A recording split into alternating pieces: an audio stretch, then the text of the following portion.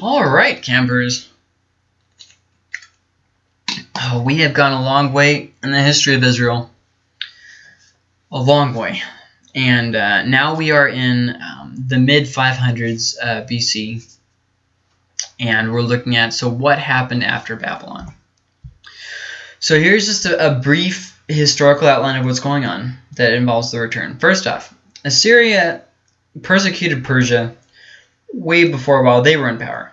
So as a result, they helped Babylon to defeat Assyria. But then later, um, Persia would, would defeat Babylon. And the interesting thing is that the Cyrus was actually related distantly um, to Nebuchadnezzar's um, kingship, I guess you could say. Um, so, and Persia helps helps Babylon defeat Assyria. That's 612 when Nineveh is destroyed. 609 when uh, when Nineveh, I mean when Assyria um, falls.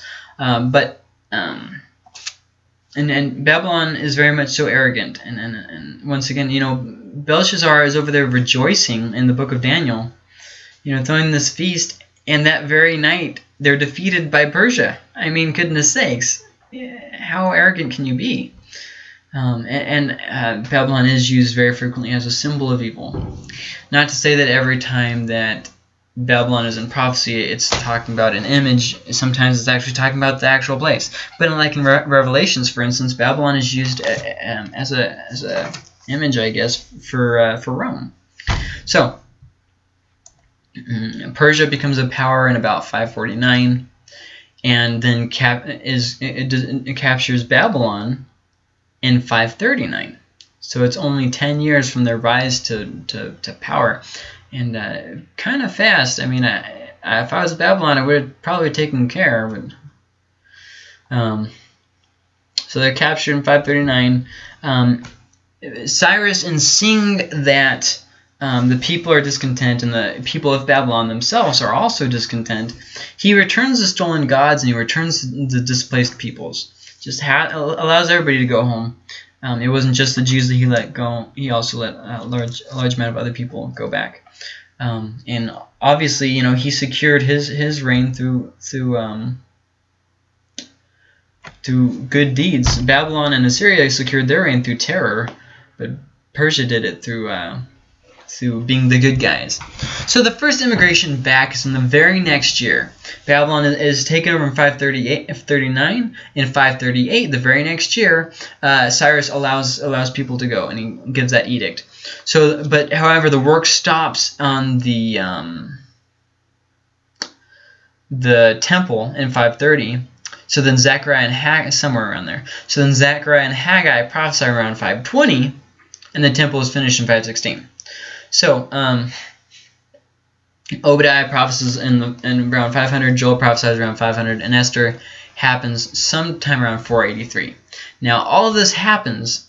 Ezra starts off with the first immigration that skips all the way down through here to after four, the 480s, and which takes us to the second immigration as reported in Ezra in around chapter 7 in 458.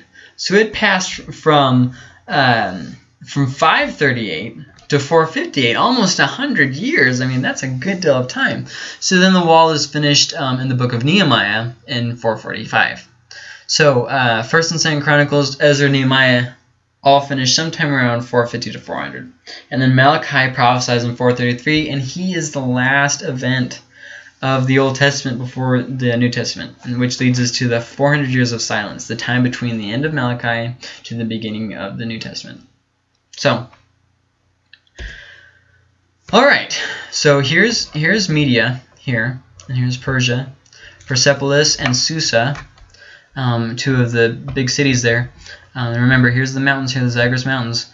Um, so came over here, and boop, there's Babylon. so that takes us to the books of First and Second Chronicles. Now, actually, I like the books of Chronicles. I think more than Kings, even though they have the genealogies, because um, I just like the information more. It's more hopeful. It's it's more you know, um, more. It also just follows the line of David, which I find very helpful. I hate how Kings, um, the books of Kings, hops back and forth, and it's so hard to remember because he'll be going down with one king, and and then he'll just take this break and go down like four kings and then return back to this king. It's like, whoa, slow down. So then you have to go back and you're trying to figure out a timeline of what's going on. First and Second Chronicles does even mess with that. After you get past the genealogies, it briefly mentions King Saul, very briefly. And then it goes to the reign of David, the reign of Solomon, and then all of the other kings. In order and, and, and nice, clean, it's just so much easier for me to understand.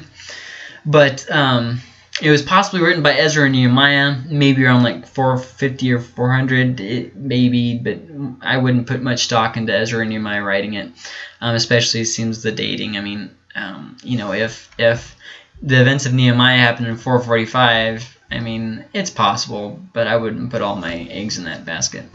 Um, so the purpose is to give hope and to remind that God is still at work and they have a heritage of faith. If you look in First and Second Chronicles, bad things are punished quickly and good things are, are, are, are given quickly. Um, once again, showing that, that God is at work and that, and that um, those, those um, the results of what's going on. Now, if you notice, in First Chronicles actually starts with the genealogy, and the reason for that is because he's trying to trace, not to give, not to give a family history for no reason. Okay, that that's not important. In fact, he skips a lot of things and, and he adds a lot of things and that kind of stuff. But what he does is he is he outlines a good little um, thing to give the people hope and to remind them where they came from to give to, to outline who their parents were and, and, and where they came from. And um, ju- just to give them to give them hope in, in, their in their heritage. And as you read through there understand that it's not being written as a complete history. In fact the geneal- genealogical accounts were never meant to be taken verbatim for this is literally the, the exact descendant of this person and that wasn't even their purpose ever.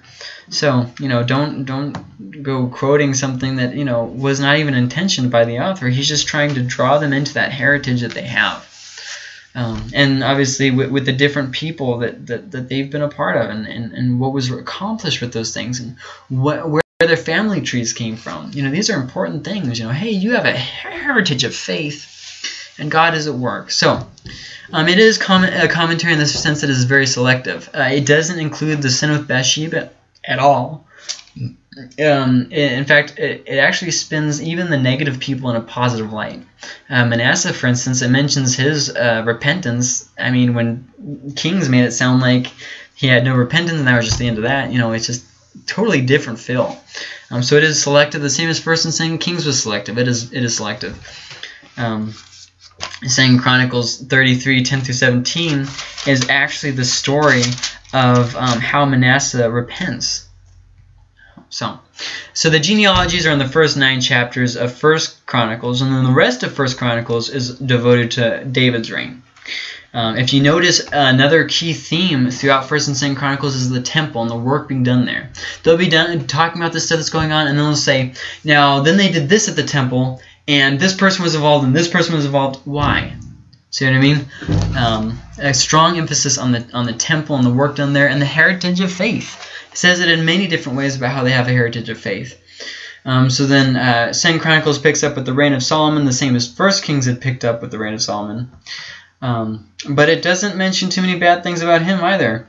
Um, and then the rest of Second Chronicles, from chapter 10 to chapter 36, is devoted to um, to talking about the kingdom of um, Judah, the rest of the, of the kingdom. Um, so King Cyrus's edict is how the book ends in 539. This was either to transition it to Ezra. Um, I know that's a little bit confusing. Um, that's 2 Kings 36, 22 through 23. Okay. Um, I know it says Ezra 36, 20 through 23. I meant transition to Ezra in 2 Kings 36, 22 through 23. I'm sorry, 2 Chronicles. Chronicles.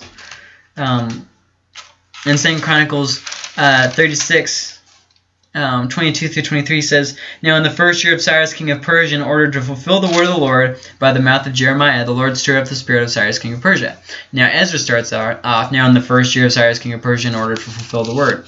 Now it is possible that that is to transition it to Ezra and that they were written by the same people, but it's also just as possible that the later editor of Chronicles wanted to uh, uh help it to lead into Ezra. You know what I mean? There are other options there. Um, so once again, that, that reference there is Second Chronicles 36, 22 through 23. And um, so, some major themes, punishment and blessing, we said a lot. Uh, David's dynasty and the temple and worship. You know, once again, it's not really concerned the, about what's going on in Israel unless it directly relates with the king of Judah. So, uh, that takes us to the events of Ezra and Nehemiah. Ezra and Nehemiah has been has been connected in, in Jewish history, um, so we're going to look at them together. Um, it was written uh, by Ezra and Nehemiah, supposedly, but you know that that's up for debate, definitely. Uh, Babylon falls in 539. The first immigration is in 538, as recorded in chapters 1 and 2. The restoration of the temple is in 538 to 516, as recorded in chapter 3 through 6.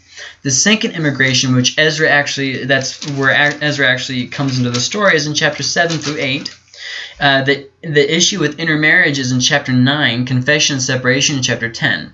Now, I do want to stop there for a second. The issue with intermarrying was not that the other races were, you know, it's like some racism or, or race, um, racially superior or anything like that. The reason why was because these other these other races were worshipped other gods, and so uh, God didn't want them to be unequally yoked. Basically, how it, com- how it comes out to. Um, so, is there something wrong with white people marrying black people? No. Is there something wrong with Mexicans wearing uh, marrying Brazilians? No. I mean, no. Just no um, you know, we've read a lot of things into the Bible that isn't there. You know, the uh, people used to use the old, uh, use to use the Bible to support slavery, and now people use the Bible Bible to to um, um, preach against slavery. So it's just kind of interesting how so some people are just convinced and, and misusing Scripture. It's important to know how did it mean to them first before what did it mean to us. So um, or sometimes, you know, what, what we do is we understand what the Bible says, but we don't understand why it says it, okay, or how it says it. For instance, we read through Leviticus and we read the laws and we're like, okay, this is this, these are things that we should and should not be doing. But you fail to understand why was it written. See what I mean? And when you understand that the Bible was written so that people would love God and love people, it's a lot different how you apply it. You know, suddenly the issue of tattoos, for instance, doesn't become that big of an issue anymore. So then Nehemiah hops down from 458 or roundabouts there, uh, 450 somewhere, hops down to 445, not that much longer, um, in Nehemiah 1 where, where Nehemiah gets a pathetic report and so he goes and starts starts um, ha having them continue the work of the wall.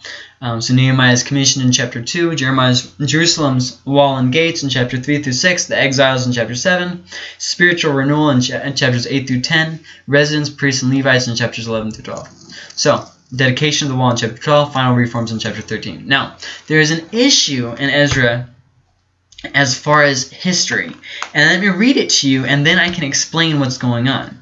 In chapter 4, it says, Now when the enemies, and I'm just going to start in verse 1, because I want to give you a little bit of context of what's going on before we get to the issue in 6 through 23. Now when the enemies of Judah and, and uh, Benjamin heard that the people of the exile were building a temple to the Lord, um, God of Israel, they approached Zerubbabel and the heads of fathers' households, and said to them, Let us build with you, for we, like you, seek your God, and we have been sacrificing to him since the days of Esarhaddon, king of Assyria, who brought us up here. Now, if you remember when Israel fell, that's what he's talking about. The, the people that were moved in took on a form of Judaism and were called Samaritans, okay? Now, they had kind of just been doing their own thing because Judah, you know, was living down there, they were living up there, and then they had been taken out and so now they, they brought they were brought back, and this is really the first um, recorded recorded uh, brushing they've had together. But uh, Zerubbabel and Jeshua and the rest of the heads of fathers' households of Israel said to them, You have nothing in common with us in building a house to our God. But we ourselves will together build to the Lord, to the Lord God of Israel, as King Cyrus, the king of Persia, has commanded us. Then the people of the land discouraged the people of Judah and frightened them uh, them from building, and hired counselors against them to frustrate their counsel all the days of Cyrus king of Persia, even until the reign of Darius king of Persia.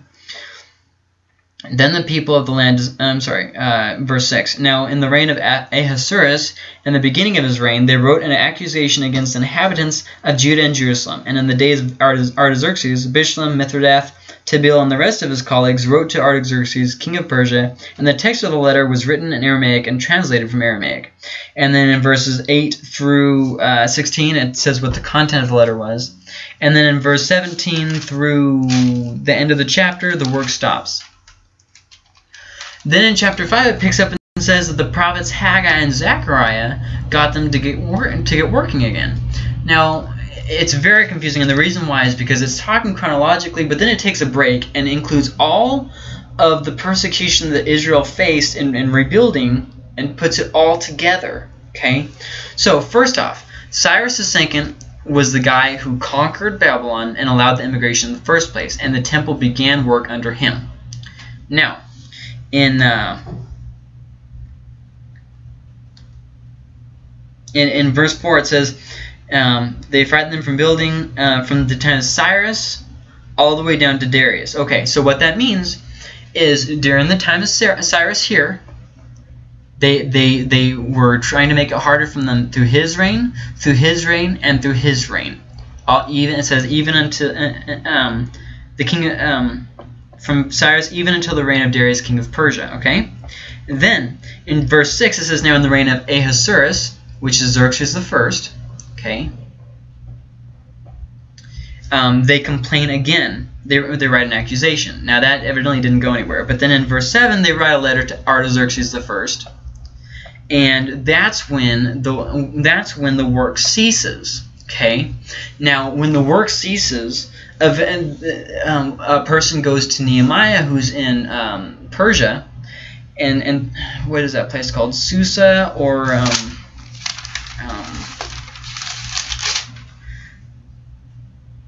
yeah, in Susa, the capital of Persia, um, somebody goes to Nehemiah and tells him, and he's distraught. And so King Artaxerxes the first, that king right there, that reigned from 465 to 424, says, um, "What's wrong, Nehemiah?" And he says, "Well, the, the work has ceased on the wall." And so and so then when Nehemiah is commissioned, basically he says, "Okay, you, you can go back and do that." And Artaxerxes the first, who's the king who said that the work must stop, then sends Nehemiah and allows him to continue the work. Okay? So then, in verse five, why does it, why does it talk about Haggai and Zechariah getting the people to start uh, to start working again? Well, that goes back to the reign of Zechariah. I mean, Dar- I'm sorry, Darius here in 522 to 486. See, the people had gotten discouraged so probably sometime in the reign of Cambyses II, because there was just so much persecution, and and you know they just really got discouraged. If you've ever been involved with a big project, and you know it seems like the whole community is against you, it can be very discouraging, and. Uh, so that's that's you know um, happening sometime around here. But then during the reign of Darius, uh, two prophets, Zechariah and Haggai, come and uh, are, are, encouraging them, and so they continue the work. And that's what chapter five is talking about. So what it does is in chapter four, it talks about all the all the um, opposition that they're facing from the reign of Cyrus all the all the time to Artaxerxes, um, uh, about almost hundred years later. So you know, and then once it's done talking about that, then it hops back to here and talks about the people getting back into work on the temple. So now knowing that, let's go back to this history right here and show this um, as it applies, okay? So the, the first immigration is in 538, but sometime in, in, in, within the next eight or so years, the work stops. And um, uh, so Zechariah and Haggai uh, prophesy around 520, and the temple is finally finished 516. Now, um, the second immigration after that, and then the wall is finished after Nehemiah comes after 445. So I hope that that made sense to you. I tried to make that as easy as possible. Um, so 558, but he doesn't get control of Babylon until 539. Then he allows the people to go in 538. Um, they and they stopped their their work sometime at, either at the end of Cyrus's reign or at the in, in Cam, Cambyses II's reign and uh, then it's resumed in Darius's reign. So, and then Artaxerxes says, "Hey, you guys need to stop building," but then he later sends Nehemiah and says, "You guys go ahead." Okay, So, um, just some quick things here. Zerubbabel is actually a descendant of David's throne, and that's why he's mentioned specifically in chapter 2, verse 1 through 2 of um, Ezra. It says, These came with Zerubbabel, Jeshua, Nehemiah, Sariah, Reelaiah, Mordecai, Bilshan, Mispar, Bigvai, Rahim, and Baanah. And then uh, the significance of Jeshua, who becomes the priest, uh, the high priest, I believe. Um, but he, if you notice, he has uh, ties with the with the other Joshua. Joshua led the people into the land. Jeshua re-leads the people into the land. The same as um, Jer- uh, Jesus would later lead people into salvation and into uh, the heavenly land. So Ezra Nehemiah does not include all the history. For instance, it blows right over what happens in the book of Esther and is not even concerned with it. And the reason why is because it tra traces what it feels is the most important um, things, what it feels is the most uh, important historical aspects. Um, so I mentioned about how intermarriage was about syncretism religiously, religious syncretism. It was not about uh, about interbreeding. Um, so the land and the temple, now they had identity back. They had who they were again. And as a result, a lot of the Jews went to the other extreme and became legalistic. In fact, this is where the root of the Pharisees come from, probably. Um, so, I mean, when, when, when you read about the Pharisees, understand that they were trying to uphold God's law. You know, I know we look at the at the version that of the Pharisees that we see in the Gospels, and we just assume that they were just terrible people. Well, they weren't terrible people. That it's they were the Billy Grahams of the day. They were the highly respected. You know, they were the uh, Joel Osteens. I mean, unless you don't like Joel Osteen, and then think of someone else who you who you uh, the Joyce Meyers, the um, you know the Billy Grahams, the, the they were the, the the the preachers of the day, and then the, this guy that nobody's heard of come by and comes by and, and, and starts criticizing them. Realize how important that was. Okay, that was that was a big deal for Jesus to have done that. Um, but anyways, uh, so they, they got they got an identity back with with the land and with the temple. Um, also, I want to emphasize something here. The the no wall meant no defense, and so they they when they were building the wall, it really was a big deal. Um, invaders and whatnot. I mean, it, it, mentions a few problems that they had with with people just coming in and killing leaders and whatnot. Um, but no wall meant no defense. This was a different world back then.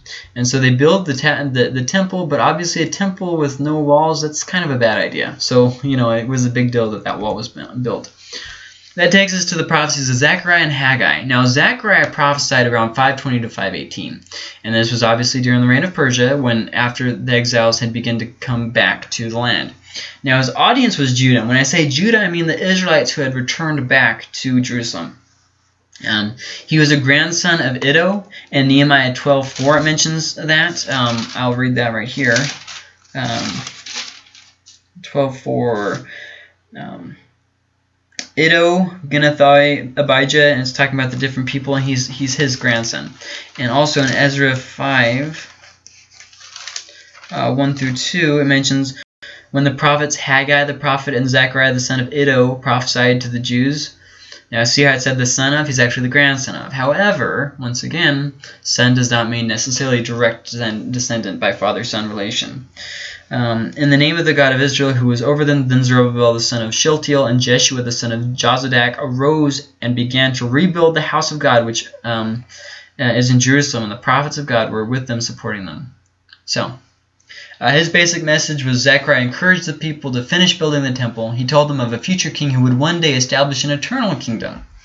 So a basic outline here, call for return to the Lord in chapter 1, verses 1 through 6. The eight uh, night visions in chapter 1, verse 7 through 6, uh, verse 8. The crowning of Joshua in chapter 6, uh, verse 9 through 15. The observance of fasts in chapter 7 through 8. The coming of the Messiah in chapter 9 through 14. Um, so just some, some quick things uh, from the book itself. Um, and you know, it it's interesting to know the setting of these things because a lot of people historically have misused the prophets to make them to try and make them say something that they never said. They weren't even implying. Yet some people quote them out of context. Um, and, and, you know, obviously, uh, when you do that, you miss the point. In the eighth month of the second year of Darius, the word of the Lord came to Zechariah the prophet, the son of Berechiah, the son of Iddo, saying, The Lord was very angry with your fathers. Therefore say to them, Thus says the Lord of hosts, Return to me, declares the Lord of hosts, that I may return to you. Um, says the Lord of hosts. Do not be like your fathers, to whom the former prophets proclaimed, saying, Thus says the Lord of hosts. Um, and it goes on like that for a while. 2, 3 through 5 says, um, and behold, the angel who was speaking with me was going out, and another angel was coming out to meet him, and said to him, Run, speak to the young man, saying, Jerusalem will be inhabited without walls, because of the multitude of, of men and cattle within it. For I declare, declares the Lord, will be a wall of fire round her, and I will be a glory in her midst. See, at first that word sounded bad. Without walls, wait, what? But then it said, I will be. You know, God's talking, he says, I will be. And so, oh, okay. 3 2, the Lord said to Satan, The Lord rebuke you, Satan. Indeed, the Lord who has chosen Jerusalem rebuke you. Is this not a brand plucked from the fire? And then in 4 6 through 10, um, then he said to me, This is the word of the Lord to Zerubbabel, saying, Not by might nor by power, but by my spirit, says the Lord of hosts. Where are you, O great mountain? Before Zerubbabel you will become a plain, and he will bring forth the top stone with shouts of grace, grace to it. Also the word of the Lord came to me, saying, The hands of Zerubbabel have laid the foundation of this house, and his hands will finish it. See, when you understand the context, he's not talking about these other things that people make it out to be. He's talking about the temple. so, uh, Haggai then, and this will be the end of this lesson, is talking about Haggai. Um, Haggai prophesied once again around the same time as Zechariah, around 520 or so. During Persia was was the empire. His audience was Judah.